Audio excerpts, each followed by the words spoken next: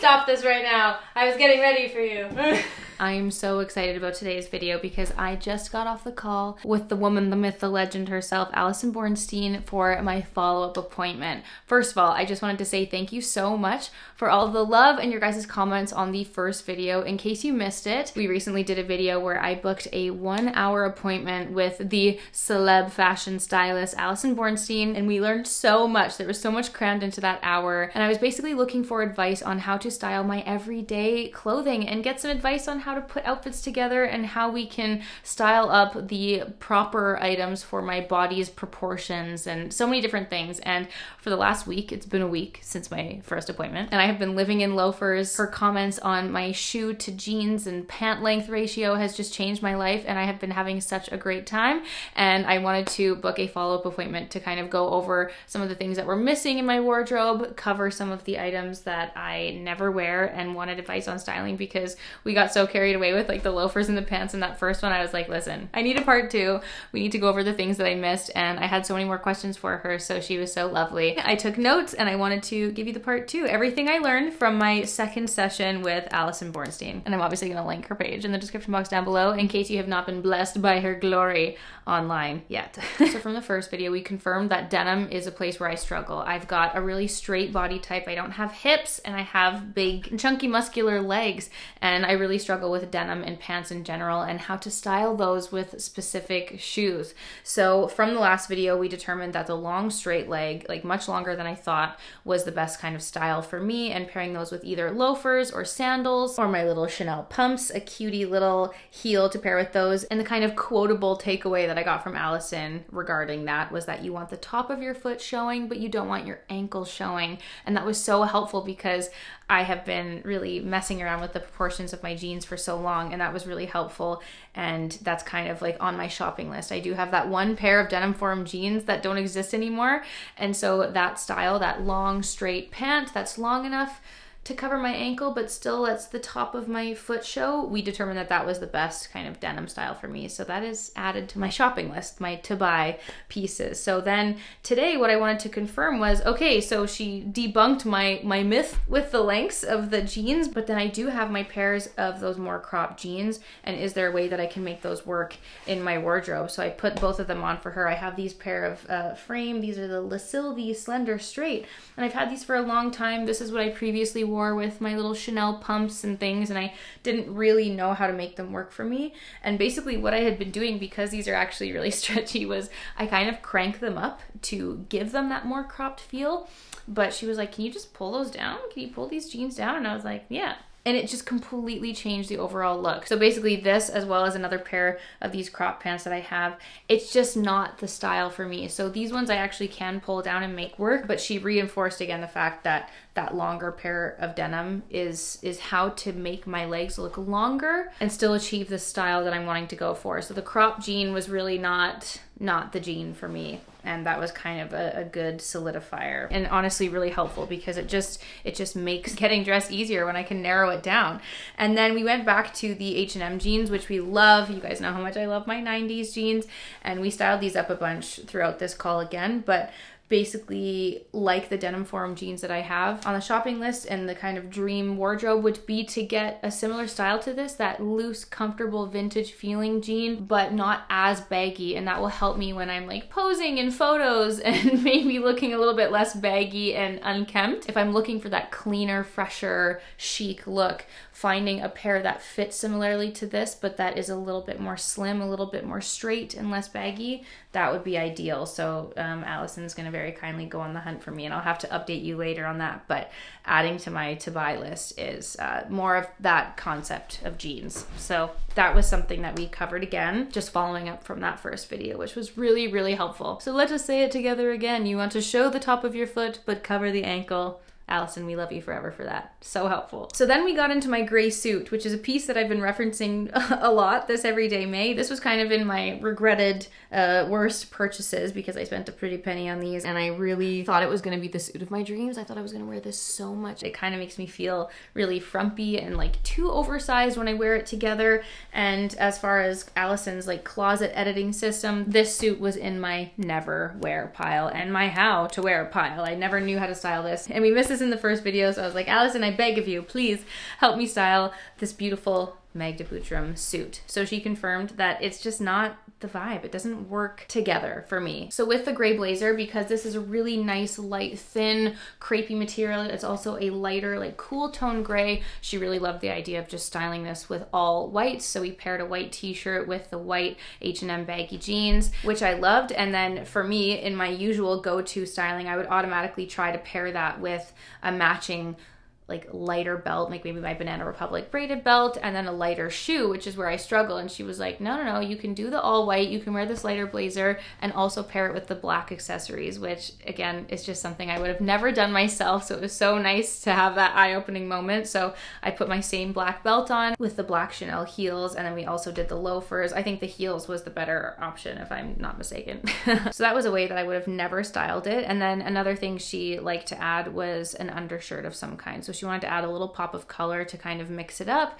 And that's where we added the blue shirt, adding in a little layer of that lighter blue or just a fun, like light wash of a pop of color, just kind of broke up the outfit and gave it a really cool, casual, chic vibe, which was really nice. And she actually said she would have preferred to have some kind of denim shirt. And the only denim shirt I have is this one from H&M, which is actually more of like a jacket. She said it wasn't light enough, it wasn't shirty enough, it was just more like a denim jacket. So uh, that's kind of also on my shopping list if I want to add it is that kind of lighter, like chambray denim shirt, and that can add a lot of like nice texture to the outfits like this. But keeping to those lighter colors was really nice. And then when we were doing that styling with the blazer, I was like, okay, what bag would you pair with this? My automatic instinct would be to go for the white bag, and then she actually suggested pulling out the Dior Bobby bag, which if you guys just watched my best and worst, I was hemming and hawing. I was like, I don't know how to style this bag. I never wear it. I never reach for it. And she was like, oh my god, yes, the blue in this bag is like perfect for styling up with outfits like these. And we actually ended up styling this bag with so many outfits in this call, which was so helpful. And again, just kind of got confirmation that this was in fact a good purchase. And I got uh, some new inspiration on how to make it work in my closet, which was exciting. So we did end up styling it a few different ways, which was very, very helpful and very nice. And then moving on to the pants, where I realized I struggled with this is that the pants have quite a billowy, like Aladdin pant feeling. And it's because I think it has the three pleats instead of one that go down the center of the leg, which just gives it that extra billowy, it kind of almost looks like a skirt when I'm wearing it. And so I've struggled to pair things on the top without making it look like too oversized and too frumpy. So again, the blazers didn't really work. Having some oversized blazers weren't really the vibe. So we actually ended up going all black with this. She paired this with my black Agolde Rianne bodysuit and then my black accessories. So we did the black belt and then we tried this actually. Actually it looked really good with my black Tkees flip flops, which I wasn't expecting. I would have never assumed to wear flip flops with like these very dressed up wool pants. And then it also actually ended up looking really good with the loafers, which I wasn't expecting. The the long drape of the leg ended up looking really cool. Not everybody might approve of pants dragging on the ground, but I personally don't mind. I do love an oversized fit, so that actually worked.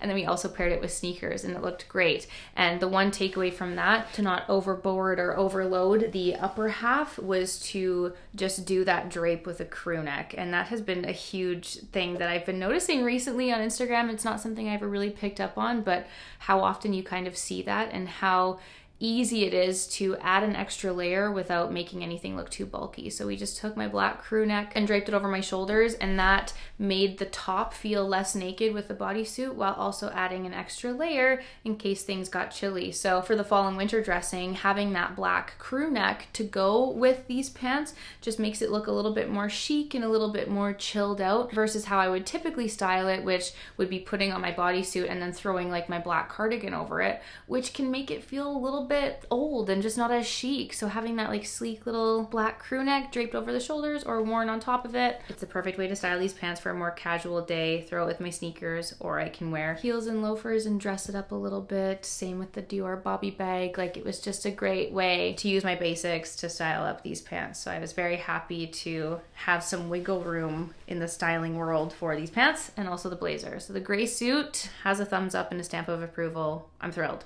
So, another piece that I had recently been struggling with, if you guys saw that video, I mentioned that I'd been struggling with my Acne Studios blazer, my black blazer, and trying to find something to replace it that gives me the same feeling. Like, I wanted that effortless, easy black blazer that I can throw on with everything. And I had previously mentioned that this blazer in particular is the one that I've had for years and years and years. And I always thought it was my perfect blazer. And then recently I've been feeling like it actually kind of gives me a much more boxy feel. And it's funny because when I started following Allison recently and watching all her videos, taking in all her content, she actually has this blazer and styles it with absolutely everything. And so that was one piece that I forgot to mention the first time around. So this time I said, Allison, I need your honest opinions about this acne blazer. I had put it in my to sell pile. I struggle with styling it and I kind of showed her what I meant where I find for for my body shape, a boxier body shape, that having a blazer with the middle seam on the back just flows a lot more nicely on my body and has a bit more of a flattering shape whereas the side slits that it has can just stay flared out and sometimes make me look too boxy and she was like, "I don't necessarily agree.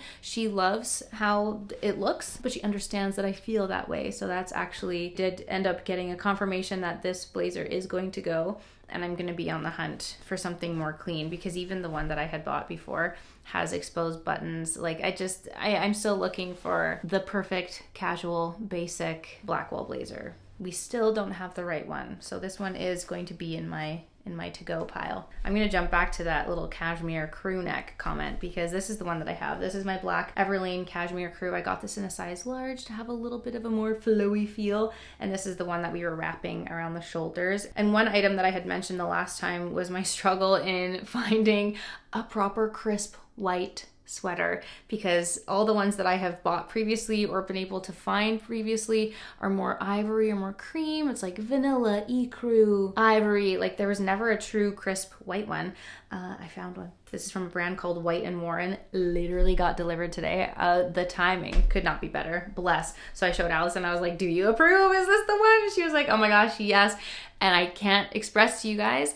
Paired with the white bodysuit or a white T-shirt, white tank, whatever it did make such a difference having like an actual true white for the sweater. So threw this over the shoulders, paired it a bunch of ways, and one way that she styled this cashmere crew, which blew my mind, was over top of the gray blazer. I would have never thought to put a sweater over the blazer, but it added such an effortless, cool little touch to the outfit, made it feel a lot more breezy and beachy, and was so cute. It was so cute. I would have never thrown that over top of the gray blazer, but there's another way that you can layer up your pieces, especially in these like in between seasons like spring and fall. It's a way to add some extra warmth but add a chic little piece of texture to the outfit too, which I thought was so cool. So we got the approval, we got a white sweater, and what a fun new way to style it as well. So I know that we already touched on a few of the pieces, but basically I wanted to leave this call with a list of things that I needed to buy. And it was actually nice, like in the moments of styling the outfits from this call and also our last appointment, it was nice to have a clear visual of certain basic pieces that I was missing in my wardrobe. And I'm happy to say that there weren't too many. My shopping list isn't too extensive, but definitely that nude heel is something that I definitely need to consider, as well as getting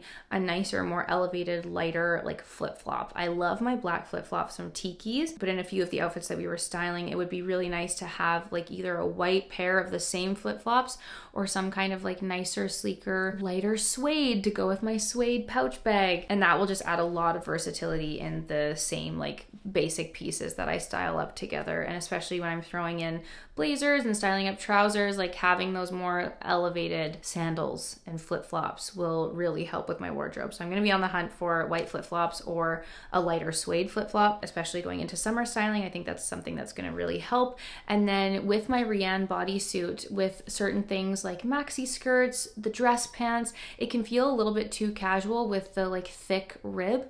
And so something that's on my to buy list is having a more dressed up version of the bodysuit. I still want that like sleek comfy, casual, high halter, high neck of the bodysuit, but maybe something that's not in that thick ribbed material, like maybe a nicer crepe or just like a thinner sheer cotton, like something that feels a little bit more dressy. And I think that that will pair well as well with things like my blazers and the suiting pieces, the tailoring. I think it'll give it the elevated feel that I'm looking for and be able to dress up my outfits without removing the comfort from it.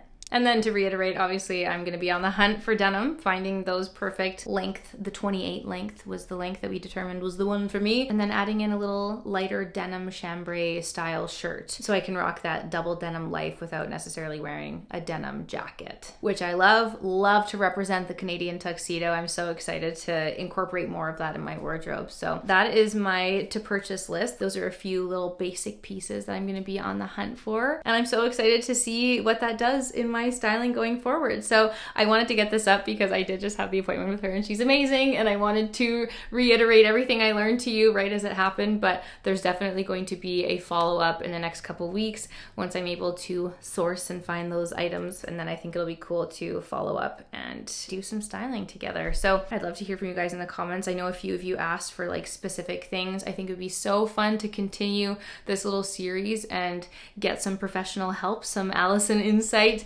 on like specific events and packing for trips and maybe like summer capsule styles. She dresses me for a week. Like I think that'd be so fun. So if there's any specific if there's any specific like scenarios that you'd like these videos to be styled and centered around, I'm so happy to do that and this is super fun and I'm glad that you guys are enjoying it too. So I hope that this video was helpful. Thank you always to Allison for being a glorious human being filled with fashion knowledge. I'm learning so much in this process and I hope that you guys are too. So I hope we can have a little chat in the comments down below. Happy day to you. I'm to see you guys all very soon for a new Everyday May video. Thanks for watching. Bye!